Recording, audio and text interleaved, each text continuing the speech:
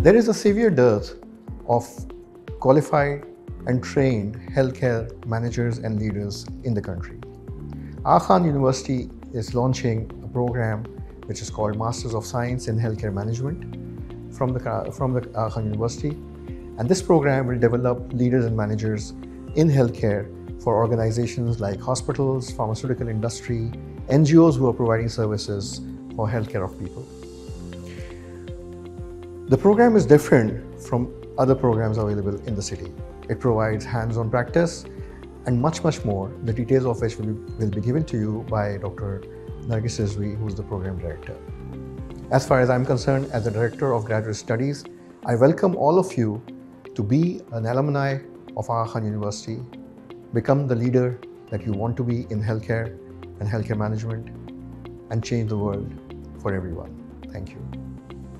The program is accredited by Higher Education Commission of Pakistan and is being reviewed by international experts in healthcare management from various renowned universities in US and Europe. The program will enroll participants from 2025.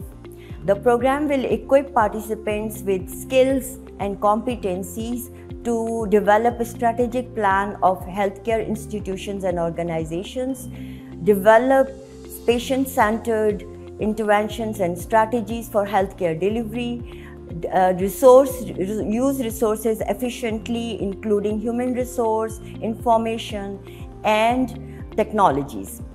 The the program will also equip participants with skills to make evidence-based decisions using scientific methods, including both quantitative and qualitative research techniques. The, the program has various st strands. However, the two key features are that the program will be offered hybrid.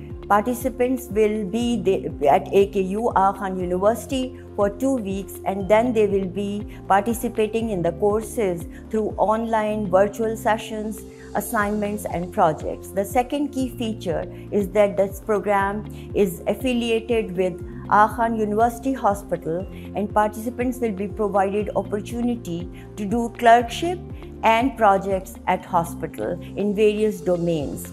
This program will equip participants with leadership strengths so that they can develop good quality healthcare services that will improve the, the performance of the hospitals and also the health outcomes. The participants after doing this graduate graduation from this program will have opportunity to join renowned international and national healthcare institutions at, as senior administrators and managers. The admissions are now open and I will encourage you to apply.